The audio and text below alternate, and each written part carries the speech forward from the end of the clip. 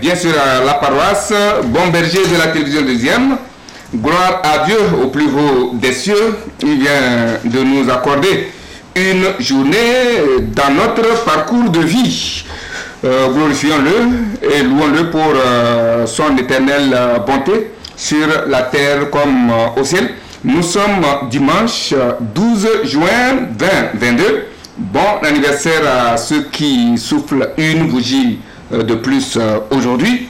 Il sonne 13 heures passées de 31 minutes 45 secondes dans toutes les paroisses, surtout à la paroisse Notre-Dame de Lourdes d'Akoloa Tonébé. même heure à Mathiatom dans la Bina. Jacques, voilà. Même heure donc au marché de Mathiatom dans la préfecture de la Bina.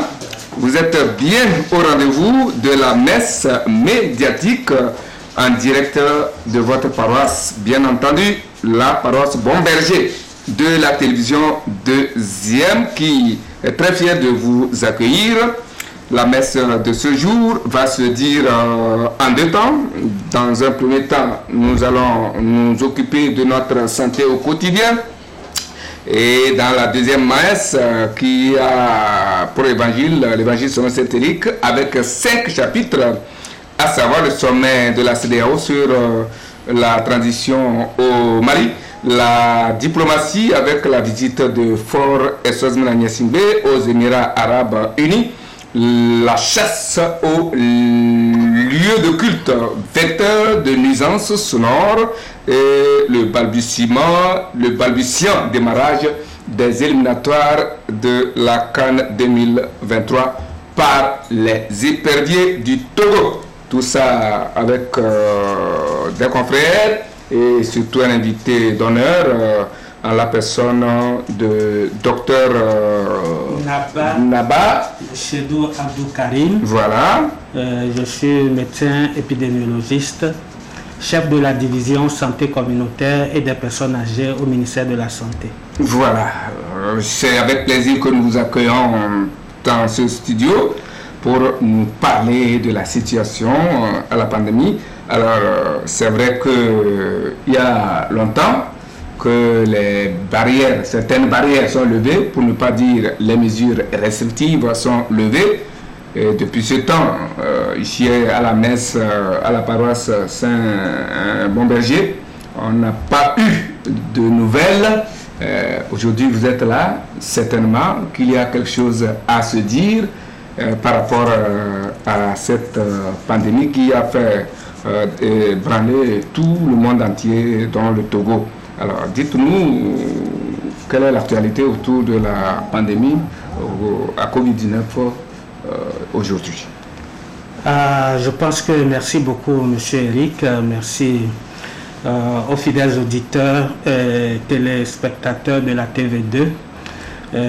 nous sommes très ravis de partager ici le plateau avec vous pour faire un peu l'état des lieux de la lutte contre la pandémie. Comme vous l'avez dit, depuis un certain temps, il n'y a pas eu de nouvelles. Donc je suis heureux de partager avec vous quelques nouvelles sur la pandémie et la lutte contre la pandémie. vous savez que depuis mars 2020,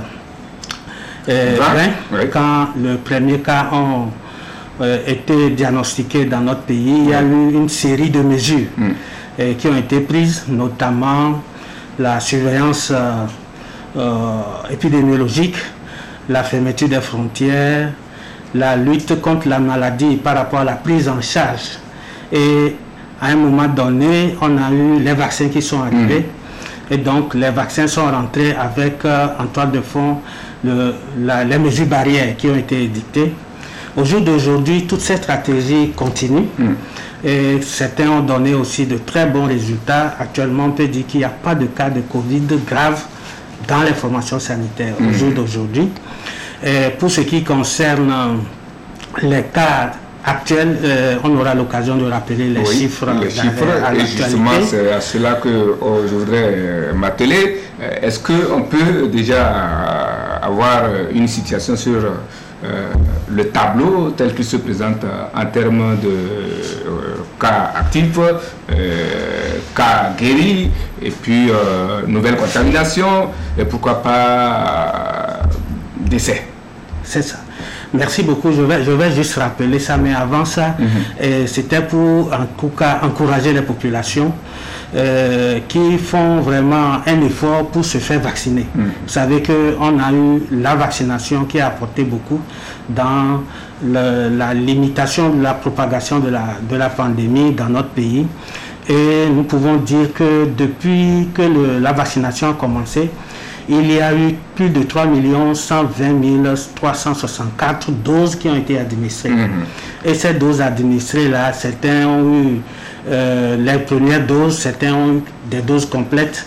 Il y a eu au moins 1 525 797 doses administrées pour les premières doses, 1 309 210 pour les deuxièmes doses, mais tout ça là, c'est pour les personnes âgées de 18 ans et plus. Mhm. Et certains ont eu même les doses rappel, les doses booster à 93 318 doses. Et ce qui fait qu'actuellement, on peut dire pour les 18 ans et plus, on est à, 38% comme couverture vaccinale mhm. et à 33% pour euh, euh, ceux qui ont complètement reçu les doses. Mhm. Donc la vaccination se poursuit il y a eu même des campagnes accélérées de vaccination et ça se poursuit. Le Togo est en train de préparer la quatrième quinzaine de campagnes de vaccination. Mhm. Alors, pour ce qui concerne les résultats au jour d'aujourd'hui. Oui, avant les résultats, je, vous avez un jargon là. En termes d'immunité euh, collective, on est à quel, à quel, à quel taux d'immunité, de, de, cette immunité collective? Oui, l'objectif du Togo, euh, c'est d'avoir. Euh, 70% de sa population vaccinée mhm. d'ici 2023. Et au jour d'aujourd'hui, pour la cible, si on prend les 18 à 18 ans et plus, comme je venais de le dire, on est à 38. Donc, on est à peu près un peu proche, de la moitié, mhm. mais donc c'est pour ça que ces émissions doivent vraiment se poursuivre. Mhm. Et merci pour tout ce que vous faites pour qu'on puisse continuer par rappeler aux gens la nécessité de se faire vacciner. D'accord, à présent les chiffres.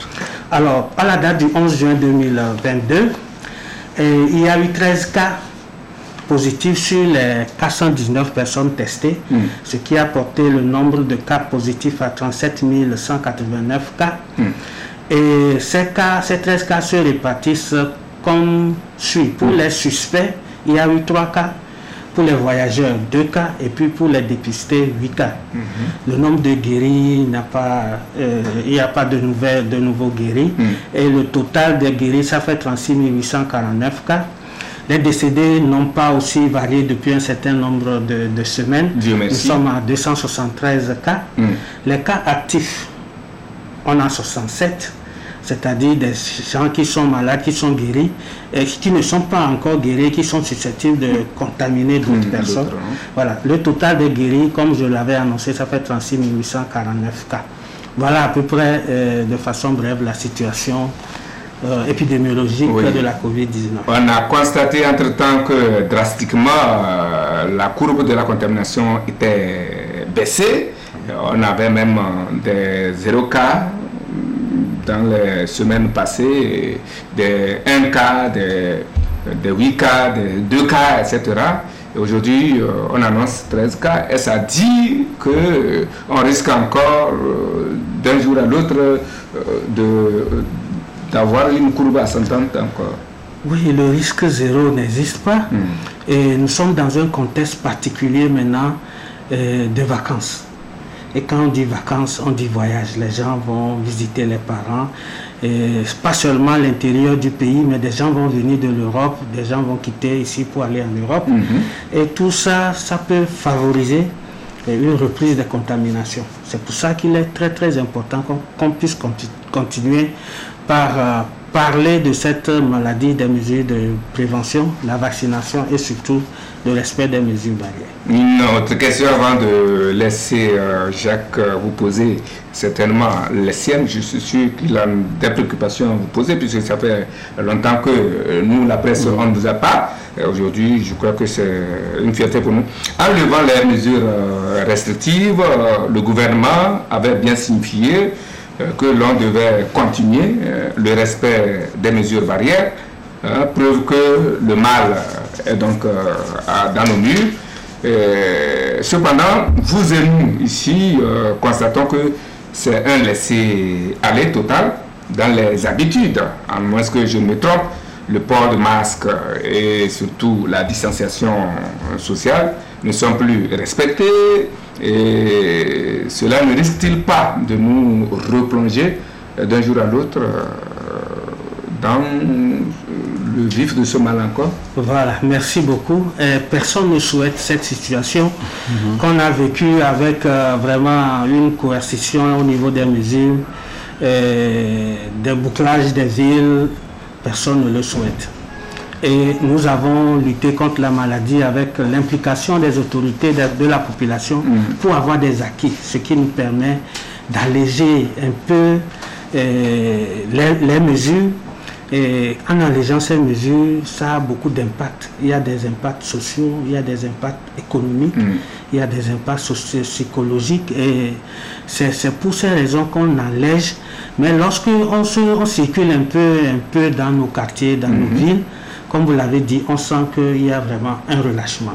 Le gouvernement conditionné les mesures de restriction, la reprise des activités sportives, sociales, culturelles, l'ouverture des lieux de coupe, et de culte, voilà, des frontières à la condition qu'on puisse continuer, la vaccination en mettant en place des mesures euh, des, dispositifs pour continuer cette vaccination. Et surtout que les gens qui organisent des manifestations puissent signaler ça aux autorités mhm. municipales et sanitaires pour que des dispositions soient prises, au lieu de rassemblement. Mhm. Et il y a également le pass vaccinal qui doit être euh, vraiment de, rigueur dans, à, tous les niveaux. Mhm. Et je pense que peut-être si on essaie de rappeler ça à nos concitoyens, et ça va nous permettre de, continuer dans la progression de la décrue euh, de cette pandémie. C'est important que au niveau de nos communautés, que les chefs, les leaders communautaires, les chefs de quartier, les chefs de village puissent se mobiliser encore. Parce que nous avons, comme je le disais tantôt, cette période-là de 2-3 mois qui va venir, ce sera un défi parce que les élèves ne seront plus c'est la période des vacances, donc de réjouissance et tout. Et donc on doit encore davantage renforcer, multiplier, euh, en tout cas le, respect des mesures barrières et la rigueur dans le respect des mesures barrières pour qu'on puisse, pour ne pas revenir à, la case départ et perdre les acquis de la lutte. Oui, comme je le disais, je ne suis pas seul, je suis euh, bien entouré. Euh, je salue la présence de ce plateau de Jacques Jacouti, président ancien président du Conseil national des patrons de presse. Il est le directeur euh, exécutif ou directeur général d'une radio de, de louange, la radio de, de l'Évangile. dont je, à qui je souhaite une cordiale et surtout respectueuse bienvenue. Merci. Certainement, mon président, que vous avez euh, quelque chose par rapport à la situation de la pandémie. D'accord. Je voudrais d'abord saluer nos téléspectateurs et téléspectatrices qui nous suivent actuellement leur souhaiter une euh, très bonne journée dominicale. Mm. Certainement que certains seront déjà à table. Bon appétit. Mm-hmm. Et euh, merci également à l'invité. Je crois qu'il a touché du doigt la question fondamentale de, des trois mois qui vont venir, c'est-à-dire la période des vacances parlant des périodes de vacances, il a si bien expliqué, c'est les gens qui vont revenir d'un peu partout. Mais est-ce qu'il y a des dispositions qui sont prises par rapport à ce retour Et qu'est-ce qu'il faut faire hein, lorsque nous aurons la crue effectivement de ces étrangers-là qui vont rentrer? Ah, Merci beaucoup, directeur. Euh, merci pour cette question euh, qui nous permet de rappeler un peu euh, certaines dispositions qui ont été récemment prises lors de la réouverture des frontières. Mhm. Euh, le ministère de la Santé ou bien le gouvernement, avec l'appui de ses partenaires techniques et financiers, ont cru bien faire de, de renforcer la surveillance au niveau des frontières. Il y a de cela quelques jours, le personnel de santé euh, de certaines régions, en tout cas de plusieurs régions, euh, ont été euh, renforcés pour pouvoir faire la lutte au niveau des frontières. Je veux citer les frontières de Noépé, les frontières de Ségbé à Lomé. Euh, il y a une frontière aussi à Toum, et la frontière de Kemerida dans la, la Dans Bénin. Et puis, il y a aussi une frontière au niveau de Loti Sud, à Gando. Alors, donc, le gouvernement veut aller progressivement vers les autres sites pour compléter les mesures qui étaient déjà prises dans les grandes frontières, à l'aéroport, euh, dans les grandes frontières, au niveau du Togo, Bénin, Gatobé. En tout cas, il y a beaucoup de choses qui sont en train de faire, de- d'être faites parce que si nous ne faisons rien, les entrées et, et, et venues, les sorties, Mmh, entrées et les sorties de, de nos concitoyens risquent également de, de, de changer la donne par rapport à- aux acquis que nous avons au Togo. Donc actuellement, c'est le renforcement de la surveillance épidémiologique, c'est le, le fait que des gens soient formés pour être postés à ces frontières-là pour prendre et la température et en même temps vacciner les personnes qui ne le sont pas ou qui sont incomplètement vaccinées. Oui, il y a, mon président, avant de revenir à vous, il y a une frontière qui constitue euh, une, une ouverture de robinet sous, vers le Sinkassé, la frontière Togo-Ghana, vers euh, le vers Sinkassé, ou non pas Sinkassé, vers euh, et autres. Alors, je ne sais pas, est-ce que ces mesures euh, ont visé encore, c'est- plus que dans tout euh, ce que vous avez cité, euh, on n'a pas senti ce- ce- cette, cette partie-là. Alors que la frontière Togo-Ghana euh, vraiment poreuse, très très poreuse même. C'est vrai. Euh, L'objectif du gouvernement, du ministère de la Santé, c'est d'aller à, essayer de couvrir toutes ces, ces frontières. Il y a ce que je disais, c'est juste les frontières connues, les con- frontières officielles. Officiel. Voilà, il y avait des mesures qui étaient là pour ces frontières que je n'ai pas citées.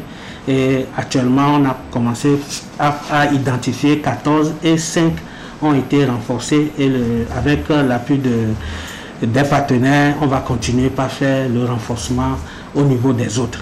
Alors pour les frontières poreuses, c'est un peu difficile de, de mettre et, du personnel là-bas, mais c'est le lieu de rappeler la, la vigilance des comités de veille qui avaient été mis en place avec l'appui des communes, des leaders d'opinion, Oui, oui. des comités de veille au niveau des villages. Dès que quelqu'un rentre, il faut que on le signale à un agent de santé communautaire qui va euh, procéder à, à ce qui, ce- à son cahier de charge. On les a formés pour euh, euh, pouvoir détecter les cas et peut-être les référer à l'une- à- aux responsables de la formation sanitaire.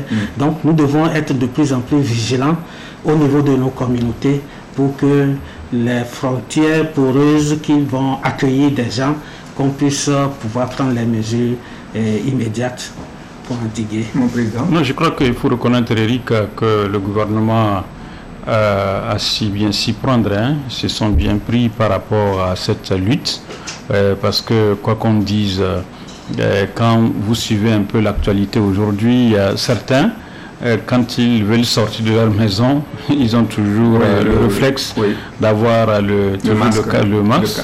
D'autres aussi, ils ont toujours les gels là dans, Oui, leur, dans leur sac. Je crois que la sensibilisation, le message a vraiment évolué, le message a vraiment passé. Et félicitations au corps médical, au gouvernement pour toutes ces mesures. L'importance de ce qu'il a dit tout à l'heure, je crois qu'il faut toujours accroître la, la- la sensibilisation. Euh, concernant cette pandémie, elle n'a pas totalement éradiqué, hein. ça il faut qu'on se mette dans la tête. Oui. La maladie est là, il faudrait que chacun d'entre nous nous puissions nous protéger et protéger également les autres. Il y a les vaccins, je voulais revenir par rapport aux vaccins, oui, savoir quels sont les vaccins qui sont disponibles actuellement pour Voilà. que les compatriotes qui veulent euh, Se se, faire vacciner. vacciner, quels sont les vaccins disponibles actuellement? Euh, les vaccins disponibles, c'est ceux-là qu'on a toujours utilisés. Il y a le Pfizer, il y a le Sinovac, il y a le Johnson Le Johnson. Et tous ces vaccins, euh, ces- ces, euh, Et AstraZeneca, pas- AstraZeneca, voilà, a AstraZeneca. Tous ces vaccins-là sont encore disponibles. Ok. Le Togo a encore plus de 30 millions de doses Ok. Est disponible au niveau de Lomé et puis au niveau des différentes régions sanitaires. Des stocks sont là pour pouvoir continuer le travail de vaccination. D'accord. Euh, Si vous étiez euh, le Premier ministre, j'allais vous poser cette question. À quand la levée de l'état d'urgence euh, sanitaire? C'est vrai que c'était dit pour un an, mais maintenant que les mesures restrictives sont levées, est-ce que on ne peut pas s'attendre à cette levée de, l'état d'urgence sanitaire. C'est vrai que vous n'êtes pas la personne indiquée, mais vous êtes dans les lois. je ne suis pas la personne indiquée. c'est beaucoup de paramètres à prendre en compte mm. et je préfère laisser les autorités compétentes se répondre à cette question. Merci beaucoup. Euh, votre mot de fin pour euh, terminer cette euh, première messe consacrée au Covid-19. Un message à l'endroit du public. Un message à l'endroit du public. Je voulais juste remercier tous les acteurs communautaires qui sont engagés dans cette lutte contre la, pandémie, également les autorités sanitaires et surtout je voudrais m'adresser aux parents d'élèves pour cette période-là que nous allons vivre et de rester toujours vigilants nous avons eu des acquis qui nous ont permis de composer, de faire les examens hier dans, de bonnes, conditions. dans de bonnes conditions. Mm. Il ne faut pas qu'à la rentrée prochaine, mm-hmm. euh, le laxisme qu'on va peut-être constater pendant les vacances puisse euh, impacter négativement la reprise des classes, l'apprentissage de nos élèves, de nos petits frères, etc. Merci, mon docteur, euh, pour cette disponibilité. Merci d'être passé nous rappeler la conduite euh, à tenir euh, par rapport au virus au Covid-19 et surtout de nous avoir rafraîchi la mémoire avec le tableau tel qu'il se présente en ce jour. Nous vous souhaitons un bon retour chez vous et à travers vous. Un grand merci à la coordination nationale de riposte à la Covid et pourquoi pas au gouvernement. Euh, puisqu'ici vous êtes euh, le représentant. Euh, merci. un bon retour chez vous sous la protection divine. Ami, ami, et bien de choses à la famille. Merci beaucoup. Et nous espérons vous retrouver une autre fois pour toujours continuer la sensibilisation. Merci beaucoup. Inch'Allah, je vous souhaite une bonne suite d'émission. Merci beaucoup. Merci beaucoup. Voilà, c'était la première messe médiatique de ce jour avec docteur Naba. Vous vous rappelez votre titre pour ce... Euh, Naba Mouchedou Abdou Karim, oui, euh, médecin épidémiologiste, chef division santé communautaire et des personnes âgées. Merci beaucoup. À présent, la deuxième messe autour de l'évangile selon Saint Éric. Excusez-nous, nous faisons économie aujourd'hui de la revue de presse pour offrir plus de temps à nos invités d'approfondir euh, leur euh, analyse, surtout que la première messe a déjà consommé une euh, bonne partie de notre temps. Alors, sur ce plateau, à Jacques Jacouti, déjà sur ce plateau s'ajoute Fabrice Pekezi. C'est un rendez-vous de grands. Jacques Jacouti, je le disais tantôt, il est journaliste ancien, sinon le tout premier président du Conseil national des patrons de presse. Euh, lui s'adjoint euh, Fabrice Pekezi, journaliste.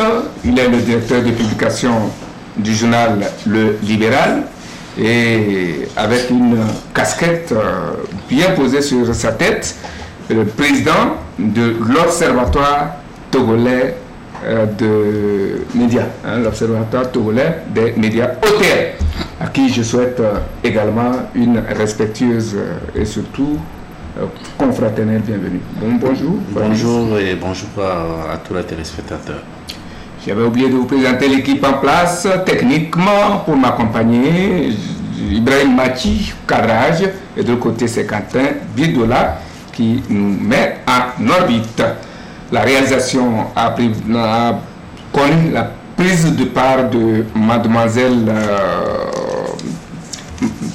voilà, j'oublie son nom malheureusement. Ok, vous l'aurez tout à l'heure. Alors, Jacques, une fois encore, bienvenue sur ce plateau. Merci, Eric. Alors, la communauté des États de l'Afrique de l'Ouest était en conclave samedi ce passé pour se pencher sur la crise lié à la transition au Mali. Fort Niasimbe, président de la République togolaise, y était. Chers confrères Jacques et Fabrice, avez-vous une euh, idée sur cette rencontre et sur, ce, sur quoi elle a porté, Fabrice? Oui, mais je crois que les médias ont assez relayé ce, le contenu de cette rencontre. Mais je crois que l'essentiel à retenir, est-ce que par rapport au dossier malien, il n'y a pas eu véritablement pas de changement, hmm. puisqu'en réalité, on espérait qu'à cette rencontre, peut-être qu'il devait y avoir un, assouplissement de l'embargo qui a été décrété contre le Mali à l'issue donc euh, de coups d'État qui a eu lieu dans ce pays.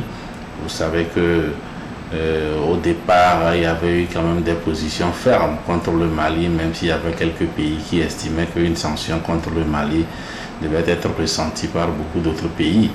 Et je crois qu'on constate quand même dans le comportement de la plupart des chefs d'État aujourd'hui, surtout ceux qui étaient fermes euh, sur euh, la nécessité de sanctionner le Mali, beaucoup ont révisé leur position. Mais qu'à cela ne tienne, ça n'a pas quand même amené la CDAO à changer sa position. Mais quand vous observez quand même les choses, il y a une autre rencontre prévue, je crois, dans un mois en juin. Et je crois qu'à cette rencontre-là, il se peut que les lignes bougent par rapport aux positions de la CDAO sur le, le, le problème malien. Mm. Parce que comme je le disais tout à l'heure, euh, ce sont des sanctions économiques euh, qui n'ont pas peut-être entraîné ce que certains pouvaient espérer, notamment un soulèvement peut-être populaire qui pourrait entraîner le départ de la junte militaire au mm. pouvoir. Au contraire, la junte est là. Et une bonne partie de la population également adhère, euh, euh, à cela. Et donc je crois que ceux qui au début estimaient qu'il fallait peut-être traiter ce cas euh, avec euh, d'autres éléments semblent avoir raison. Je crois que le Togo faisait partie des pays qui n'avaient pas une position assez rigide dans le cas mm. malien. Et au fur et à mesure, on constate que beaucoup de chefs d'État euh, beaucoup d'autres pays ont mm. rejoint le Togo mm. dans cette position, puisqu'aujourd'hui, quand vous prenez des pays comme le Sénégal et tout cela, tout le monde paye le lourd tribut mm. lié à ces sanctions-là. Et donc, euh, je me dis que ce n'était que partie remise par rapport à la dernière rencontre au mois de juillet. Il y a, il y a, possibilité, c'est fort possible quand même, qu'il y ait que les choses puissent évoluer dans le bon sens parlant du dossier malien. Hmm, Jacques, euh, votre avis euh, par rapport à cette euh, rencontre qui, comme il le dit, n'a pas hmm, accouché de beaucoup de choses. Bon, est-ce qu'il y a... Bon, je crois que ça va, ça va se décanter hmm. parce que vous savez, il y avait les deux blocs, c'est-à-dire le bloc anglophone et un bloc francophone. En fait, euh, quand vous prenez par exemple les sanctions aujourd'hui, euh, ce qui pèse sur le Mali, le, Ghana ne ressent pas ces sanctions. Vous prenez par exemple le Nigeria. Le Nigeria ne ressent pas ces sanctions, et alors que le Togo, mm. la Côte d'Ivoire, euh, le, Sénégal et les autres pays ressentent quand même le poids de, ces sanctions sur, sur le Mali. Et comme Fabrice le disait tout à l'heure, je crois que le chef de l'État togolais a très bien fait de, prendre les devants mm. euh, pour aider le peuple malien à sortir effectivement de ces sanctions. Parce que quoi qu'on dise, quand vous prenez l'ensemble de ces pays euh, qui ont pris la décision, les ressortissants de ces pays la vivent au Mali. Euh, ils ont leurs ressortissants dans, au sein du Mali. Donc il faudrait aujourd'hui qu'on puisse trouver le juste milieu pour pouvoir sauver les meubles. Il est vrai qu'aujourd'hui, euh, le, président de la transition a déjà fixé euh, les conditions euh, mhm. par rapport au retour à l'ordre constitutionnel. il, est, maintenant question que d'ici le 3 ou bien le 2 juillet prochain, que Accra il puisse se retrouver en tant que chef d'État pour trouver le juste milieu, parce que quoi qu'on dise, personne ne voudrait au fait perdre la face dans cette histoire parce que les chefs d'État ne voudraient pas qu'on dise qu'ils n'ont pas pu euh, tenir. Et le Mali aussi ne voudrait pas qu'on dise qu'ils ont perdu la face. Donc vous voyez, chacun veut aménager ses positions et finalement qu'on puisse trouver effectivement une solution. Il y avait également le cas du Burkina Faso, il y avait également le cas de la, Guinée-Conakry, euh, parce que vous voyez que la Guinée-Conakry tient les câbles parce que la Guinée-Conakry a son port, et c'est que les, atouts que le Mali n'avait pas, parce que le, Mali n'a pas de port. Donc les chefs d'État en réfléchissant, s'il faut sanctionner par exemple la Guinée, vous voyez que les sanctions là ne seront pas tellement voilà, des grandes choses. Mm. Donc il faut également les aménager. Il, est vrai qu'il y a un médiateur qui a été choisi pour mm. les accompagner. Il y a le cas également du Burkina qu'on essaie quand même de ménager un peu parce que à la rencontre d'Accra, d'aucuns pensaient que on allait également sanctionner et le Burkina et la Guinée-Conakry, ce qui n'a pas été fait. Euh, finalement, en termes diplomatiques, euh, on dit que le Burkina est quand même ouvert euh, au, dialogue, comme si les autres pays n'étaient pas ouverts au dialogue. Donc je crois qu'il faudrait que les uns et les autres puissent mettre de, l'eau dans, leur vin, parce qu'il faut reconnaître que cette sanction au niveau du Mali est ressentie dans presque tous les pays le, prenez le, cas du, de la Côte d'Ivoire, la Côte d'Ivoire souffre. Vous prenez également le cas du Sénégal, le, Sénégal a également des sérieux problèmes. Donc aujourd'hui, vous voyez que cette sanction au niveau du Mali a permis aujourd'hui à ce que on puisse connaître maintenant un peu euh, un commerce vers la Mauritanie mhm. et vers également la Guinée-Conakry, parce qu'aujourd'hui, ces sanctions ont permis à ce que ces pays-là puissent se mettre en valeur avec l'aide de la Russie qui soutient, de quoi qu'on dise, euh, le, Mali euh, sur certaines situations. Donc je crois que euh, Africains que nous sommes, il faut que nous puissions traiter nos problèmes en tant qu'Africains mm. et trouver également des solutions africaines. Ça, cela pourra nous aider. Oui, je ne vais pas vous arrêter, mais oui. Non, non, je voulais juste dire que justement, en parlant du cas burkinabé et guinéen, c'est vrai qu'après la sanction contre le Mali, on se disait que forcément les mêmes sanctions devaient tomber sur ces deux pays.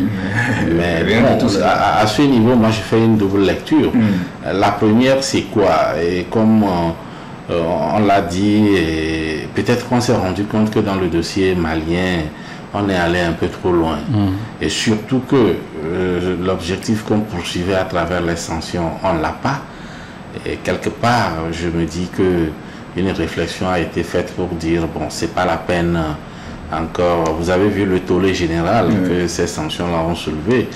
Et quelque part, euh, on s'est dit, bon, c'est pas la peine euh, également d'aller dans cette même logique au niveau du Burkina et de la Guinée.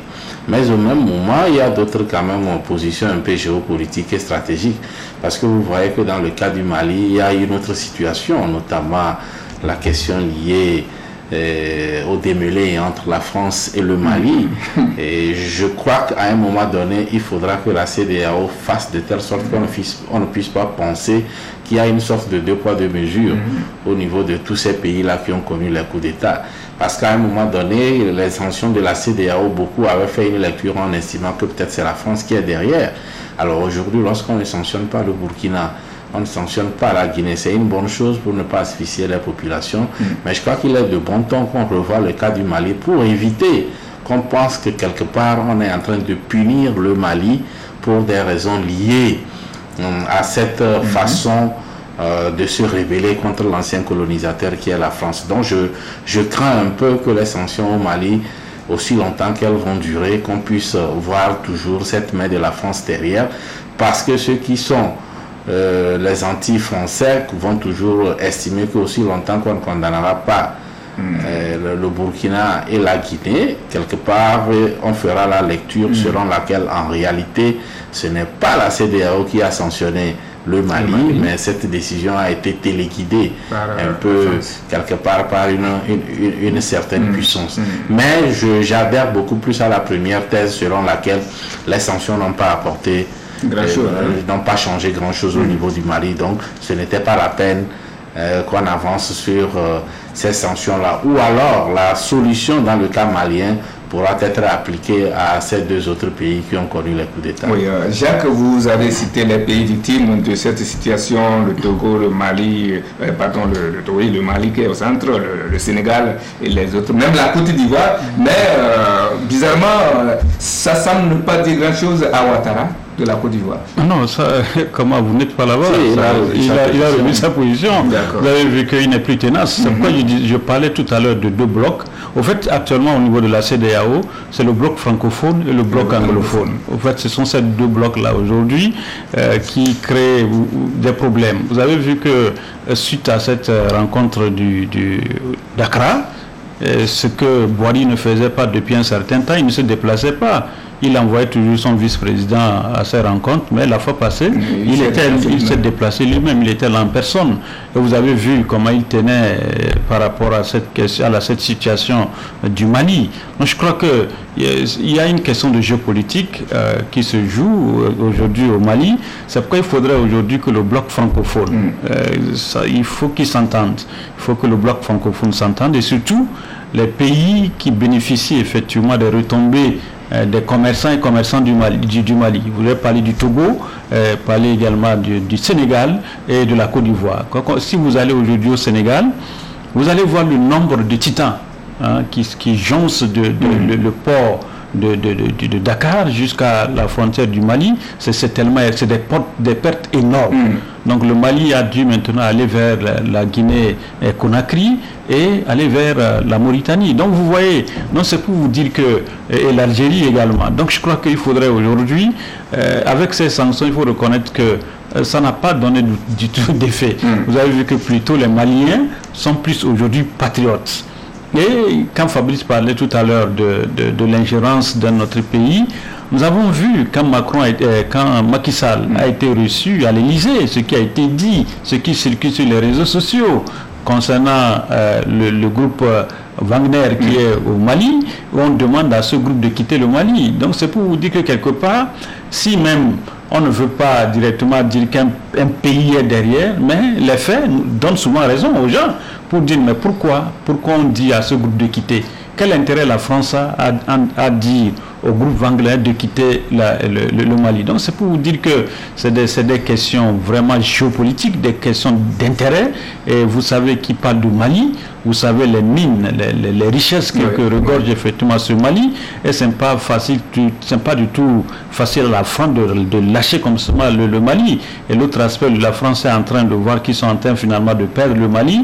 Et s'ils ne font pas attention pour se rattraper, l'Afrique, aujourd'hui, vous allez voir que la plupart de ces pays africains-là, les gens vont prendre aujourd'hui leur indépendance et se dire non, si le Mali a réussi, c'est comme nous aussi, nous allons réussir. Et vous voyez ce qui se passe actuellement au Burkina. À chaque marche, vous allez voir les gens il brandit tous les pancartes de la Russie, de même chose que la Guinée Conakry. Donc, il faudrait que les chefs d'État africains se disent, euh, tu puisses trouver la solution effectivement à la situation. Et au Mali, au Burkina et en Guinée Conakry. Oui, euh, mais étant dit que euh, la force est toujours derrière, est-ce que euh, la médiation de notre président ne va pas souffrir de, de, jalousie Pourquoi on dit que c'est avec euh, Fort que euh, la crise malienne a, trouvé une solution Est-ce que ce n'est pas ça qui est en train de plomber ces rencontres Qu'est-ce qu'on ira dire en juillet qu'on n'a pas pu... non, je, je, crois que le doyen Djakouti l'a dit, personne ne veut perdre forcément la face dans cette situation. Mm-hmm. Donc, c'est des questions diplomatiques. Et c'est pour cela que je dis, en réalité, quand vous prenez les précédents sommets où il y a eu des sanctions, ça a été moins virulent que la dernière fois. Et mm. donc c'est pour cela, euh, ça, ça présage d'une situation beaucoup plus souple en mm. juillet. Mm. Et donc aujourd'hui, euh, euh, ce ne sont plus les mêmes positions. Et donc c'est vrai qu'on ne pouvait pas du jour au lendemain passer de, du jour à la nuit il y a une certaine progression qu'on est en train de lire. Et je crois que la médiation, euh, en tout cas, le rôle que Fort Yassingbe joue là-dedans aussi, vous savez, euh, nous avons la particularité de ne pas beaucoup communiquer. Mhm. Euh, Dieu, Dieu seul sait, les nuits où peut-être le Togo s'est rendu à Bamako sans que les gens le sachent, ça voudrait dire que c'est un travail quand même qui est fait dans l'ombre mhm. et qui commence dont les explications commencent par convaincre certains. Et je ne pense pas qu'on mettra ça à l'actif des uns ou des autres. Ce sera forcément la CDAO qui gagne. Parce qu'on l'a dit ici, quoi qu'on dise aujourd'hui, le monde euh, est lié. Et, vous, voyez un peu la guerre en Ukraine. Au départ, on pensait que c'était loin de nous, mais mm. aujourd'hui, nous, payons tous euh, les frais, les frais mm. de la peau cassée par rapport à cette situation. Donc, je crois que c'est la même chose dans le cas malien. Euh, oui, le Mali a été sanctionné, peut-être qu'ils en ressentent plus, mais euh, beaucoup de pays, nous avons notre port, il passait par ici, il mm. passait par d'autres pays également. Et donc, il ne faudra pas créer une situation où à un moment donné, finalement, le Mali puisse avoir une solution ailleurs. Et même lorsque la situation normale va revenir, ils vont trouver que ben, on a trouvé même mieux que là où on allait par rapport au passé. Donc c'est délicat il faut, de gérer cette situation comme cela. Mais quoi qu'on dise, c'est que de façon classique, les sanctions généralement n'ont jamais fait mm. bouger ces régimes-là. Hein. Aujourd'hui, vous prenez la Russie, il y a, ça fait beaucoup de sanctions, mais Poutine est encore là. Donc, euh, il, faut, il faut réfléchir autrement. nous espérons que la rencontre de juillet hein, nous apportera d'autres nouvelles par rapport à cette situation qui ne fait que trop durer, surtout que hein, Goïta, hein, de 5 ans qu'il avait envisagé pour la transition est revenu à 2 ans si je ne me trompe. Je crois que euh, les lignes sont en train de bouger, comme vous l'avez dit, d'un côté et de l'autre. Et puis vous savez, Eric, ce qui est intéressant au niveau de Assimi Goïta, c'est quelqu'un qui est pragmatique, qui sait ce mm. qu'il veut là où, il, va. Oui, vous voyez, même les sanctions ne l'ont pas ébranlé. Mm. En ce temps, on avait appris qu'il y avait des soubresauts même au, sein de l'armée pour euh, lui créer des ennuis, mais le gars a resté serein. C'est quelqu'un aussi qui ne parle pas. Vrai. on a appris que hier, il a mis une commission euh, pour rédiger la, la constitution. Donc c'est pour vous dire que le gars, lui, avance. Donc il faudrait aujourd'hui que avec euh, les, chefs d'État qui vont se retrouver au niveau de la CDAO, il faudrait qu'ils trouvent effectivement une solution mm. par rapport à ce que Fabi disait tout à l'heure. Vous savez, si ils ne s'entendent pas, le Mali risque de se diriger euh, quelque part. Mm, et, oui, ils vont glisser quelque part. Et s'ils glissent, attendez-vous, le, Burkina a des problèmes. La Guinée Conakry également des problèmes. Donc l'Afrique, les, gens seront effectivement dans cette posture pour dire ah, si le Mali a réussi, ce que nous aussi nous pouvons réussir. Donc on n'a pas intérêt à ce que euh, on se jette les pots de, de, bananes, mais il faudrait que les chefs d'État s'entendent et se disent que il faut trouver effectivement la solution euh, au conflit, ce qui se passe actuellement au Mali, du moment où la CDA a proposé, je crois, le CDA a parlé de, 18 mois, je crois. Oui, 18 mois. Voilà, lui, il a parlé d'une transition de, de 24 mois. 4 mois. Donc, je crois que la différence n'est pas, grande. Donc, Au départ, c'était 5 ans. Hein. Justement, je crois qu'il faut trouver une solution. Voilà. La diplomatie était encore au rendez-vous cette euh, semaine euh, avec euh, le chef de l'État, Foreign qui était chez son homologue euh, saoudien. Certainement que c'est dans le cadre, bien sûr, de la coopération bilatérale, d'intérêt économique et social entre les deux pays. Alors, il y a quelques mois, d'ailleurs, le ministre de la Sécurité et de la Protection civile euh, y était. Euh, disons que la diplomatie entre l'Arabie saoudite et le Togo à son bon firmament. Oui, bien sûr, bien sûr. C'est vrai que depuis quelques années, quand même, euh, le Togo diversifie ses partenariats. On a vu la Turquie. C'est vrai que l'Arabie Saoudite, il y a eu toujours quand même de bonnes relations entre le mhm. Togo et le Bénin. Mais en ce qui concerne, qu'est-ce que le chef de l'État est exactement allé, faire chercher là? euh, comme on le dit très souvent, bon, on le met ça sur le dos de la diplomatie, mhm. peut-être que l'économie suivra. à part ça, pas vraiment grand-chose euh, à mettre sous la dent sur le tenant et les aboutissants de cette visite mm. qui a surpris plus d'un mm. parce qu'on ne l'a pas vu partir mais on a vu quand même des, des images qui sont arrivées. Je crois que ça fait partie de la nature également de la présidence togolaise. Mm. Mais en tout cas, on continue de funer pour avoir euh, plus de précisions sur euh, ce qui a été, mais c'est quand même ça reste quand même une visite officielle. officielle. Jacques, euh, c'est quand même la deuxième fois que le chef de l'État se rend là, si ma mémoire bonne, en, l'espace d'un an. Hein. Bon, le, ce qui a suscité un peu sur les réseaux sociaux, c'est que le, chef de l'État allait présenter les condoléances. Euh, du peuple togolais, c'est ce qu'on a, appris.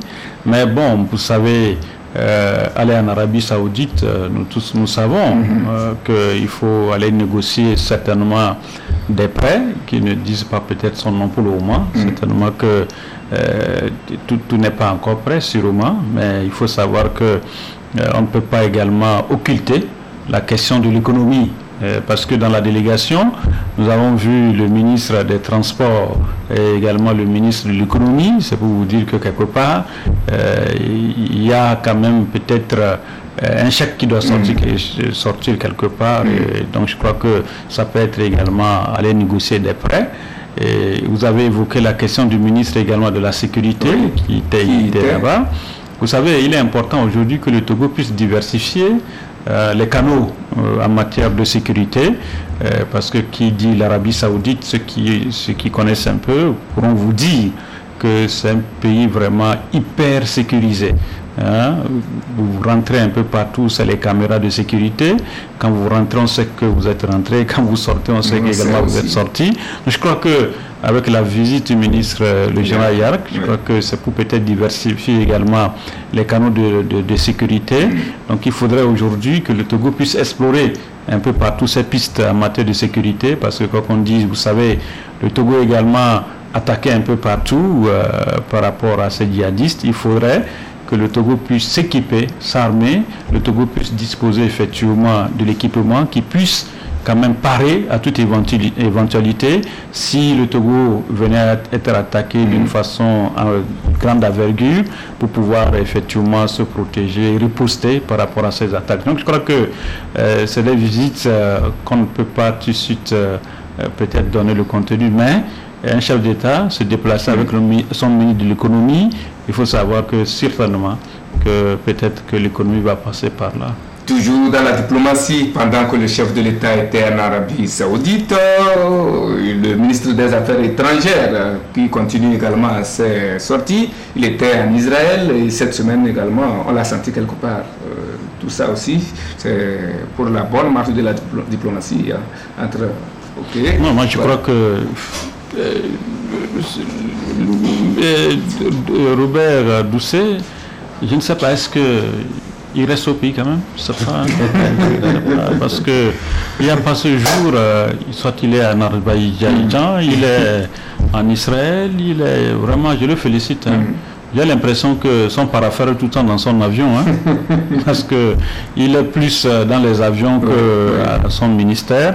Vraiment, si tous ces déplacements-là pouvaient apporter quelque chose au Togo, alors on applaudit. Donc je crois que. Je crois, bon, je crois aussi que dans un ministère aussi, peut-être qu'il faut déléguer parfois des compétences.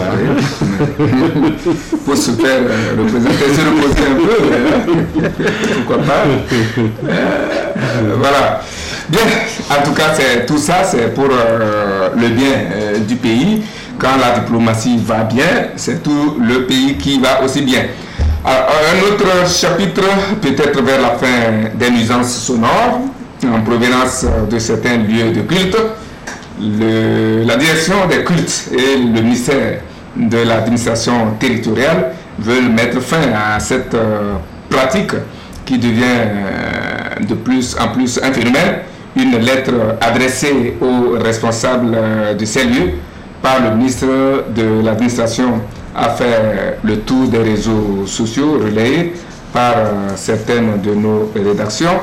Alors, Jacques, euh, avez-vous une idée euh, du contenu de la rencontre, euh, surtout avec voilà, de cette lettre hein, adressée aux responsables des cultes et cette lutte va-t-elle être efficace? Bon, vous savez, quoi qu'on dise, le, le, directeur des cultes a sorti une note, effectivement, pour parler de la nuisance sonore. Euh, nous sommes conscients, ça il faut le reconnaître. Il n'y a aucun Togolais euh, qui puisse dire qu'il n'est pas conscient de cette euh, nuisance sonore. Au fait, ce n'est pas seulement au niveau des églises, hein. il y a les bars également, ce n'est pas seulement les mosquées. Donc je crois que la nuisance sonore aujourd'hui, il ne faut pas seulement se focaliser sur, les mosquées et les églises. Il y a également les bars. Et l'autre aspect, vous savez, euh, quand vous prenez euh, les, nos frères de la, de la religion traditionnelle, c'est-à-dire que euh, ce qui souvent on appelle le voodoo là, vous savez, il y a des, des, mois, quand ils veulent par exemple commencer leur cérémonie, quand ils commencent effectivement par jouer leur tam-tam, je vous dis, ils font toute une semaine. Mm. Moi, j'en ai dans mon quartier, et vous, vous ne pouvez pas dormir. Une semaine, vous ne pouvez pas fermer l'œil. Ça joue, ça chante, ça joue, ça chante, ça joue, ça chante. Même la nuit, hein, Oui, même de nuit, même jusqu'au matin. hein. Justement, il n'y a, pas- il y a pas ce temps, ça ne s'arrête pas. Non, c'est pour vous dire que euh, la nuisance sonore, il ne faut pas seulement se focaliser sur les églises, mais il faut reconnaître également qu'au niveau des églises, c'est vrai, il y a quand même souvent des lieux de culte. Hein. Oui, les lieux de culte. ça peut aussi intéresser les... Ouais, ouais. Je crois qu'il y a des dérapages Mhm. au niveau effectivement des églises qu'il faut reco- reconnaître. Mais je crois que depuis un certain temps, quand vous prenez par exemple les maires, les- les- les- au niveau des mairies et autres, les, les mairies là sont en train de sensibiliser les pasteurs et autres par rapport effectivement à cette nuisance-là. J'ai vu par exemple au niveau de notre mairie euh, à Boca, qui fait effectivement un bon travail, il, il- il sensibilise, il rencontre souvent les, les responsables religieux et puis les cultes des couvents là pour leur parler, les imams, pour leur dire le bien fondé effectivement de pouvoir réglementer, régler leurs instruments par rapport effectivement à cette nuisance là qu'ils constatent dans le quartier. Donc je crois que euh, c'est vraiment euh, une bonne chose. Il faudrait également que les autres maires au niveau des autres arrondissements Voilà. puissent prendre le relais. Moi, je crois que je serais d'avis avec le ministre de laisser le travail effectivement à ces maires-là, Oui. de pouvoir sensibiliser leur arrondissement.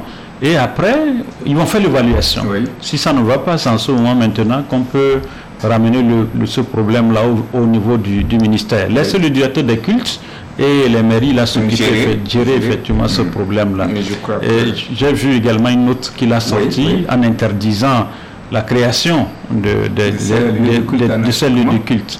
Je crois que ça aussi, euh, c'est quelque chose à revoir. Parce que, vous, vous savez, le, le- le- le rôle régalien d'une église, c'est la création.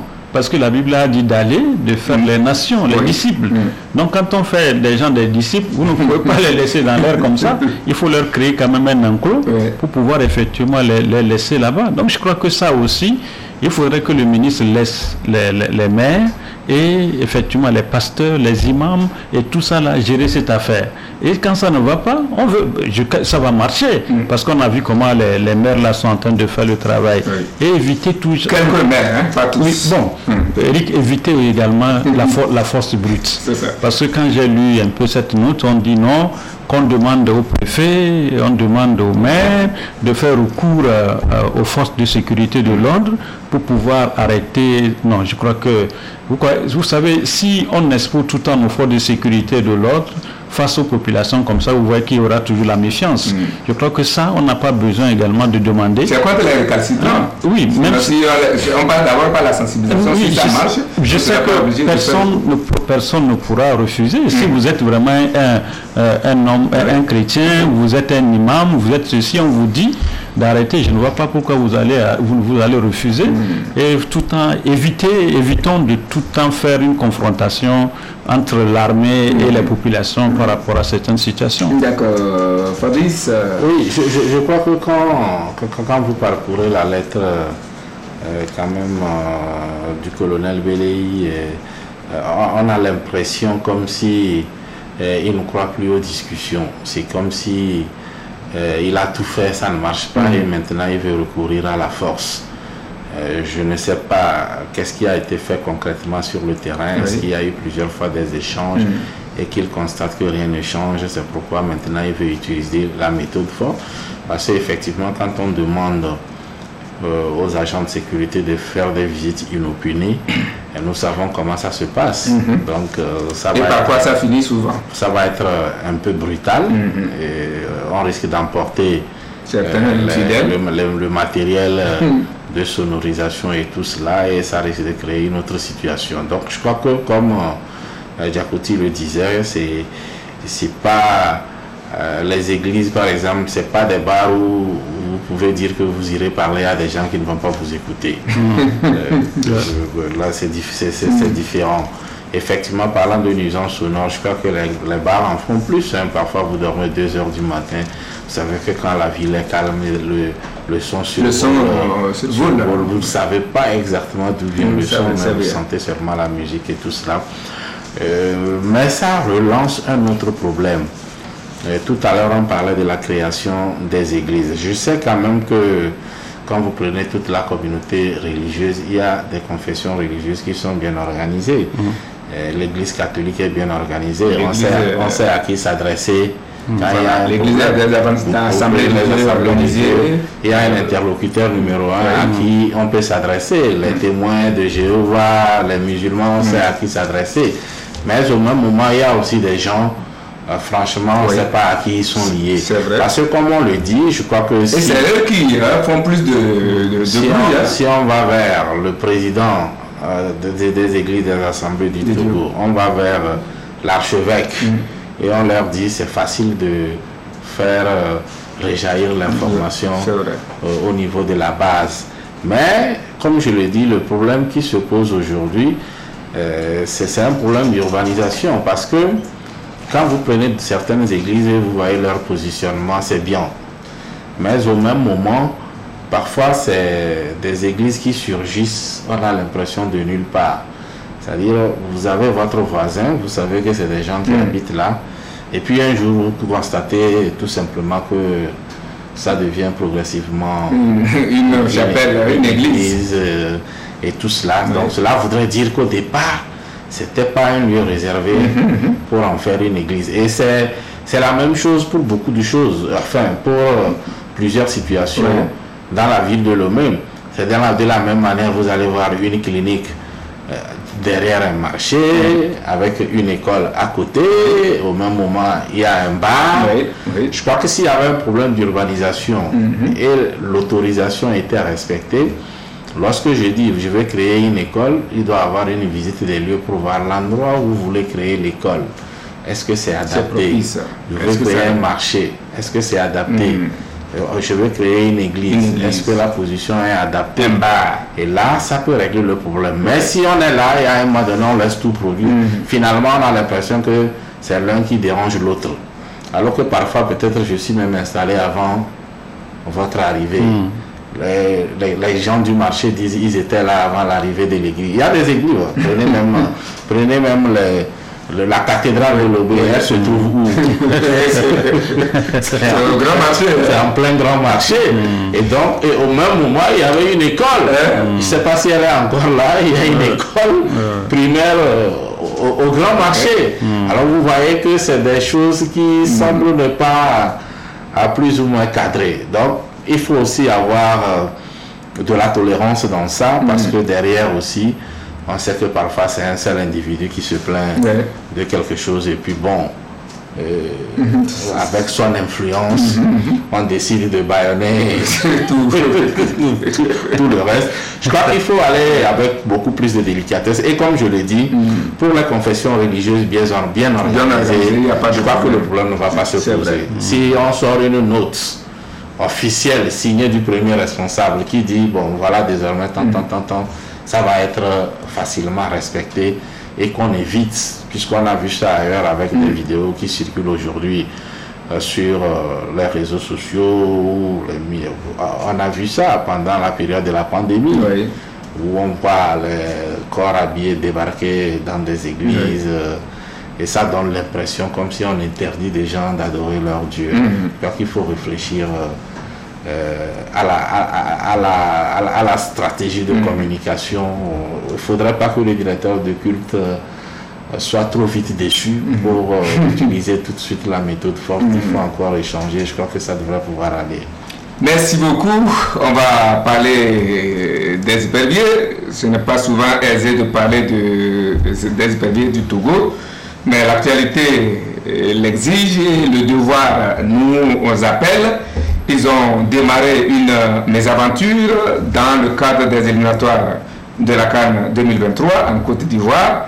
Euh, Deux premières sorties infructueuses, malgré tous les soins dont le gouvernement hein, par le biais du ministère des Sports, a entouré l'équipe. Alors, j'ai fait un petit mémorandum là-dessus, petit commentaire. On va le suivre et on revient pour euh, vos analyses. 2 à 2. Tu marques, je marque. À Lomé contre les Swatini le mardi 3 juin. 0 contre 2 à Marrakech face au Cap Vert 4 jours après. Voilà comment les éperviers du Togo, version Duarte, démarrent la campagne pour le biais de la Coupe d'Afrique des Nations de 2023 en Côte d'Ivoire.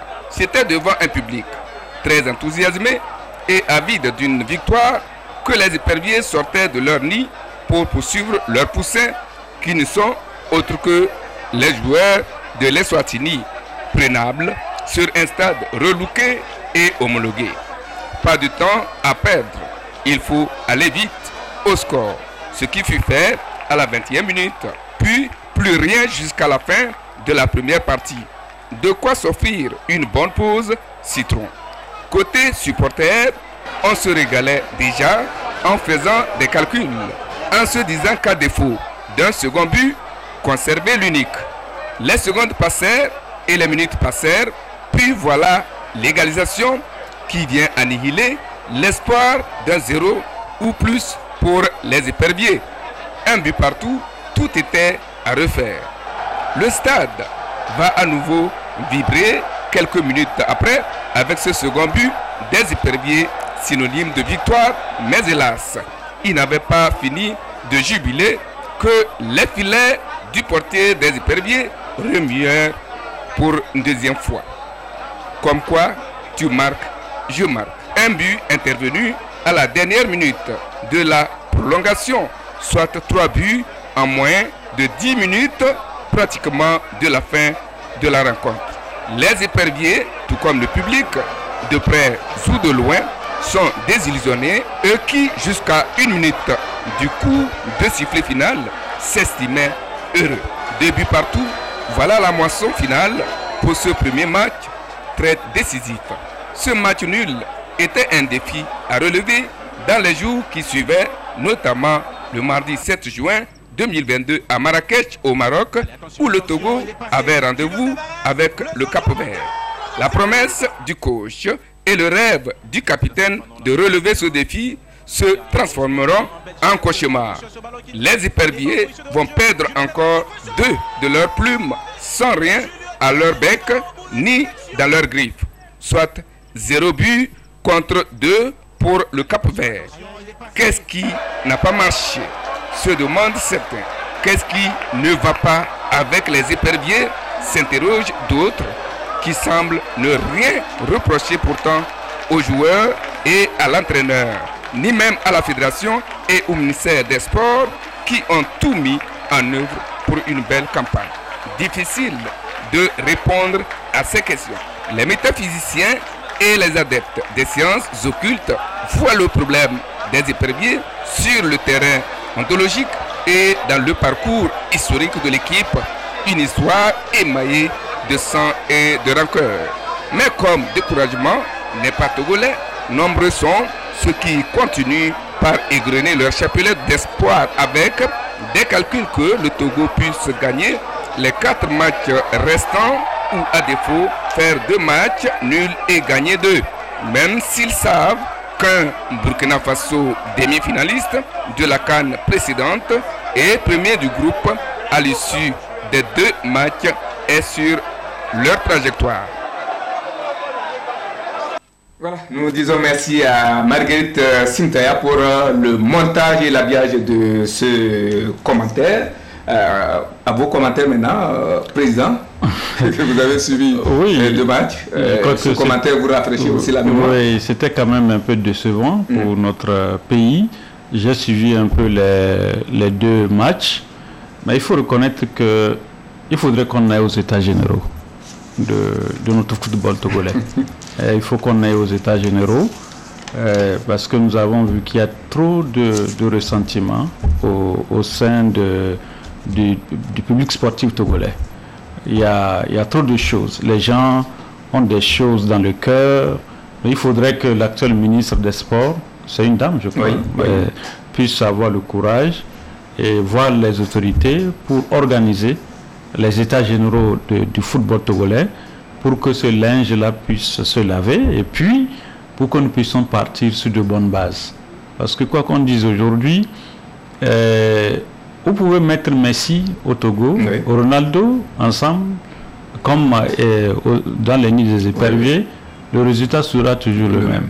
On accusait Claude, euh, Claude Leroy. Mais pas, c'est pas du tout Claude. parce que, il, faut reconnaître que Claude aussi a contribué à créer. non, il faut applaudir son départ quand même. Vous savez, et l'autre aspect, la fois passée, vous voyez, les, le match au niveau de, de Marrakech. Oui ça coïncidait avec euh, Lundi, je crois. Mhm. Euh, c'était le, Non, c'est le match euh, ici qui coïncidait avec, Lundi. Donc, vous voyez, au, sein du public, les gens ont un peu critiqué la façon dont les choses sont passées.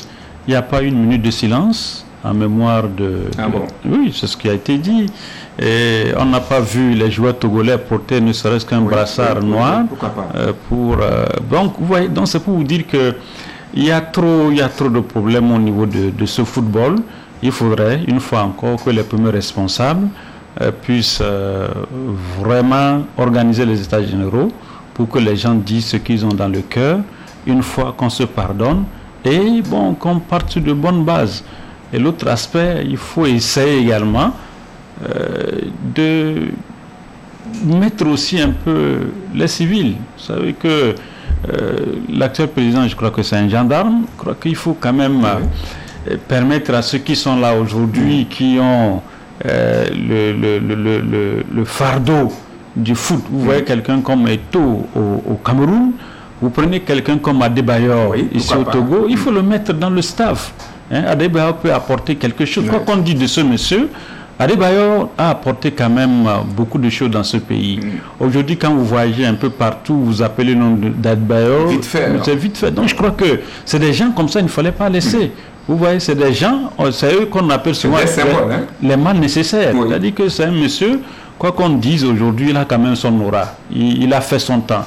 Donc il faut, il faut le mettre dans, dans, dans ce staff. Et l'autre aspect pour m'arrêter, c'est que quand vous prenez même le, le, le, le staff des éperviers, il y en a qui se plaignent parce que certains disent que quand par exemple le Togo joue, il y a certains membres du staff qui sont payés, mais les mêmes sont dans ce staff qui ne sont pas payés. Mhm. donc, quand vous partez avec cet esprit, hein, vous, vous, ne vous entendez pas. Vous allez à une bataille, vous allez à une guerre. Comment vous allez gagner? Vous n'avez pas gagné. D'autres sont là, ils ont les sous. Mm. Les autres là, ils n'ont pas de sous. Mm. Mais est-ce que dans leur tête là, ils vont prier pour ils que vous puissiez gagner positivement. je crois qu'il faudrait. Il y a trop de problèmes. Ils n'ont qu'à s'asseoir avec la dame et euh, le staff, voir comment ils peuvent aller aux états généraux du football pour sortir notre football de ces problèmes. Mm. Fabrice. Oui, moi je suis un peu perdu parce que quand, si on me dit aujourd'hui de rechercher les origines du problème du football togolais, je ne sais vraiment pas à quel niveau le situer. Mhm. Alors tout à l'heure, le doyen parlait des problèmes euh, qu'on a au niveau de la fédération. Mais je rappelle tout simplement qu'en 2006, on en avait plus. Mhm. Il y avait plus de problèmes à la fédération avant alors que celle qu'on a d'aujourd'hui, vous prenez la fin de Rock, ça n'a pas été facile. Mm. Vous prenez l'arrivée de Tata Avlessi, vous voyez comment ça s'est passé avec mm. tous euh, les drames qu'on a eu. Et puis avec Apoli, avec, oui, avec, avec Voilà, et puis on va au mondial, les questions de prix, mais tout cela. Et là, à l'époque, on avait une bonne équipe, mais au niveau de l'organisation du staff, il n'y avait que des problèmes, des coups bas et autres. Et puis, bizarrement, ça nous faisait gagner un peu. Mm.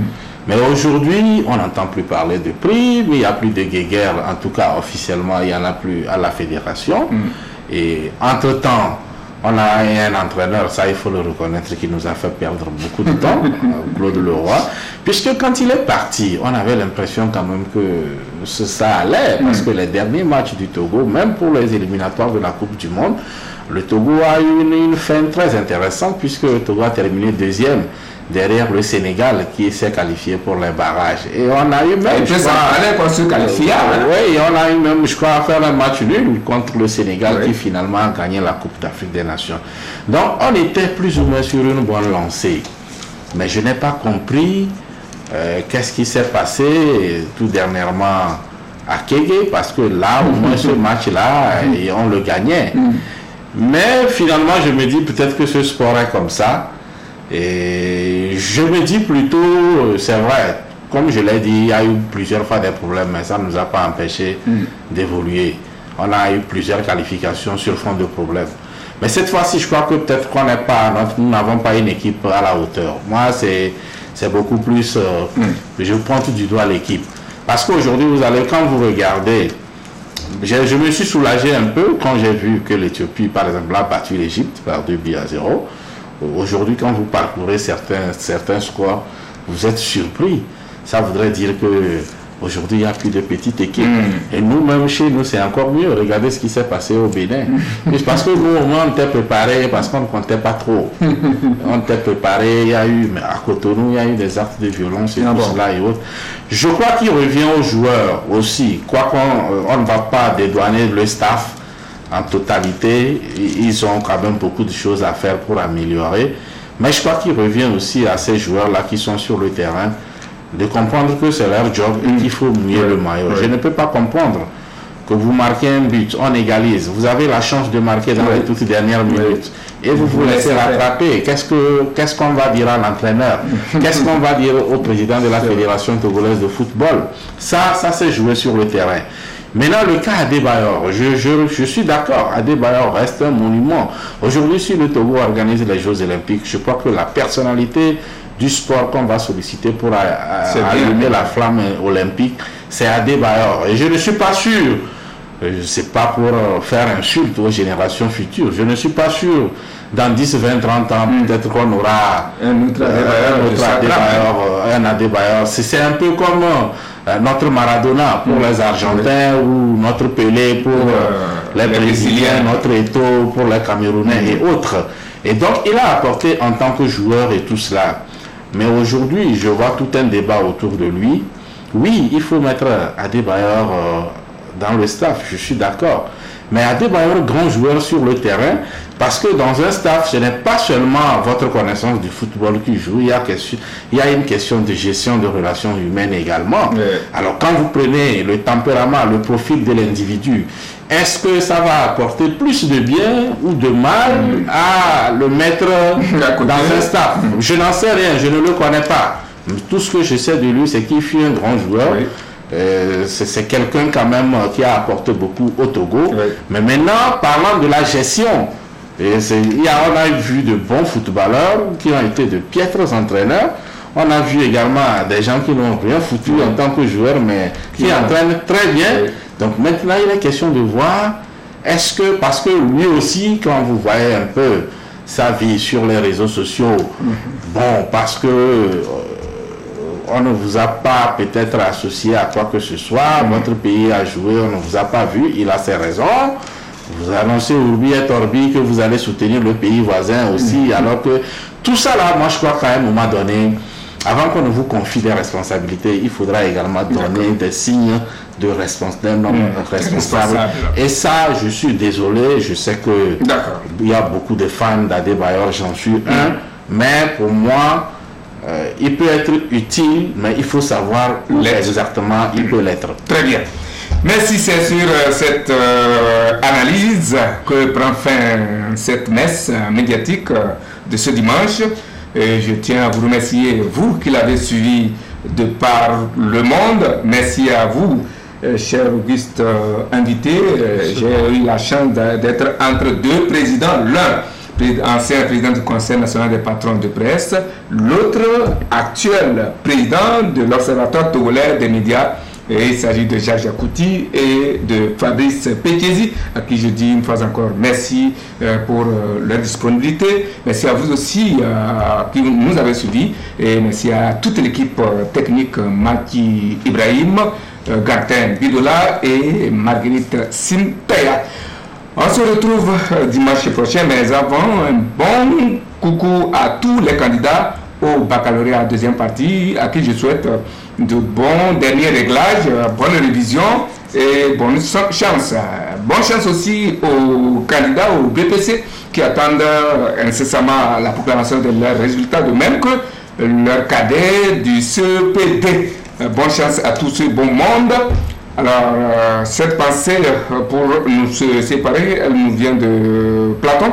Si les hommes savaient se gouverner eux-mêmes, et s'ils vivaient selon les lois de la nature, ils n'auraient que faire de la politique.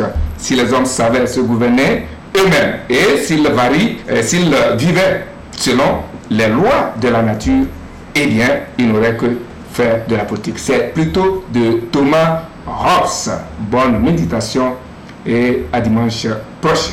Portez-vous bien.